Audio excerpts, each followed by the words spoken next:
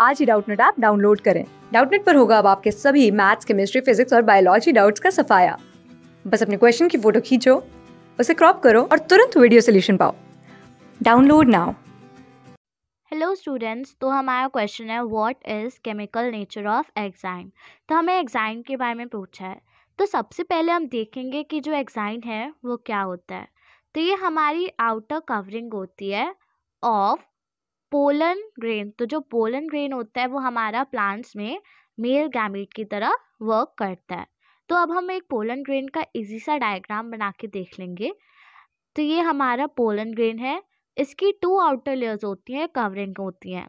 एक होती है सबसे बाहर वाली एग्जाइन फिर उसके अंदर आती है इंटाइन फिर दो सेल्स होते हैं, जो होते हैं हमारे, ये है बड़ा वाला वेजिटेटिव और छोटा वाला रीजनरेटिव जनरेटिव सेल तो जो आउटर कवरिंग है, ये है हमारी एग्जाइन और जो ये इनर कवरिंग है, वो है हमारी एंटाइन तो अब हम देखेंगे एग्जाइन का क्या केमिकल नेचर होता है. तो जो हमारी एग्जाइन होती है, वो स्पोरोपोलिन से बनी होती है, जो बहुत ही टफ मटेरियल होता है और जो इंटाइन होती है, वो सेल्यूलोज और पेक्टिन की बनी होती है. स्पोरोपोलिन से बनी होती है हमारी एग्जाइन जो केमिकली एक अब हम इसका केमिकल देखेंगे कि कैसे केमिकली बना हुआ होता है।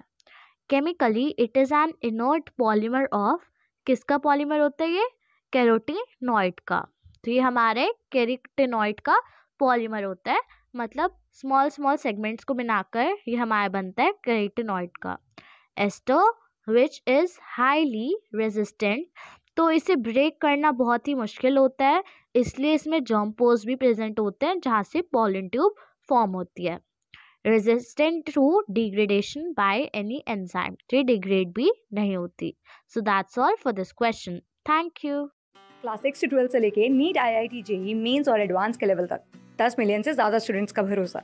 आज ही डाउनलोड करें डाउट नेट आप या व्हाट्सअप कीजिए अपने डाउट्स आठ चार सौ चार सौ चार सौ पर।